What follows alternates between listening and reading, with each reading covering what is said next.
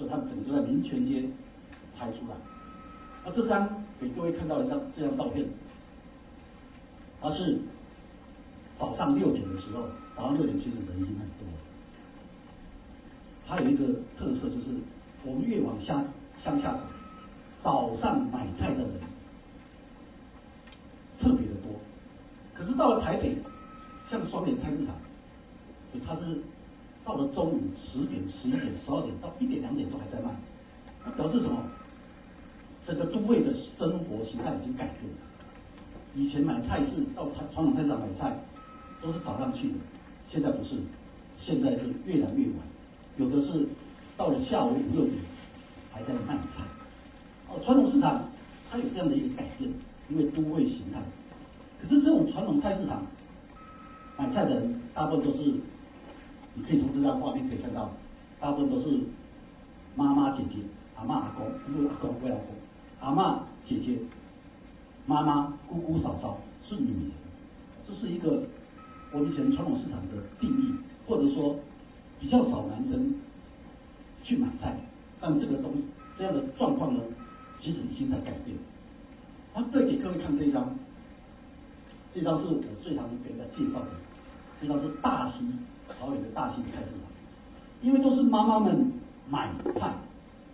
所以你会看到这个有画一半以上，这个外面的左边都是在卖内衣内裤，女女性用的。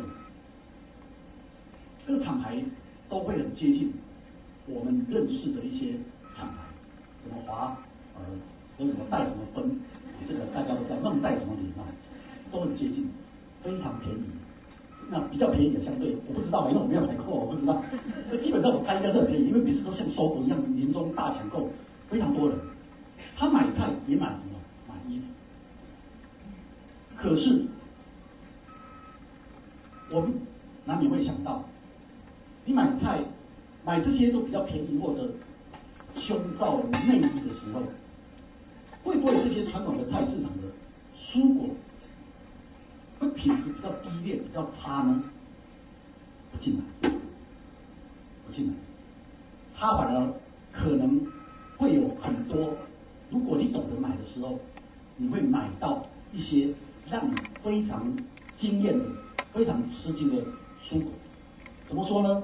再看这一张，我现在举三到四个例子，让你知道说啊，原来买菜是这样的思考。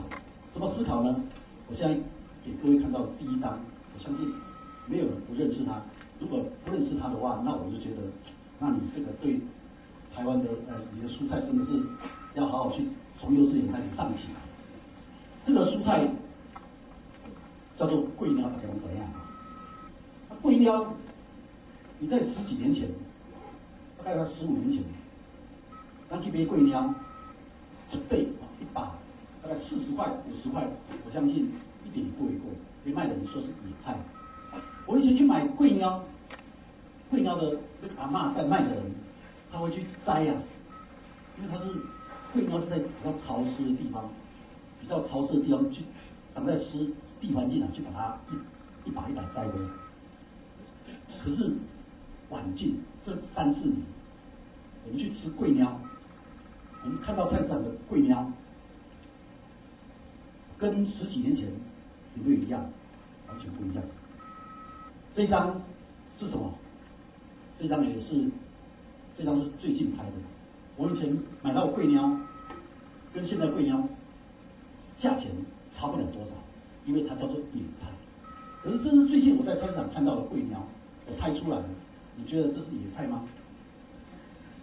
它绑着橡皮筋，每一个切头都切得那么整齐，这代表是什么意思？它一定是田间管理，我不会说用重点说的，这种要说的比较文雅一点。田间管理，统一栽培出来。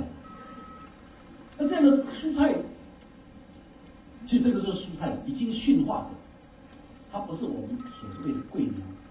如果你有机会，你到双溪去旅游，你去一个地方叫做杏花村、杏花林，啊，茶吧都写不到茶花庄啊。我想这帮妈妈茶花庄，你到茶花庄，他会有贵到这一道菜。那老板娘，她在。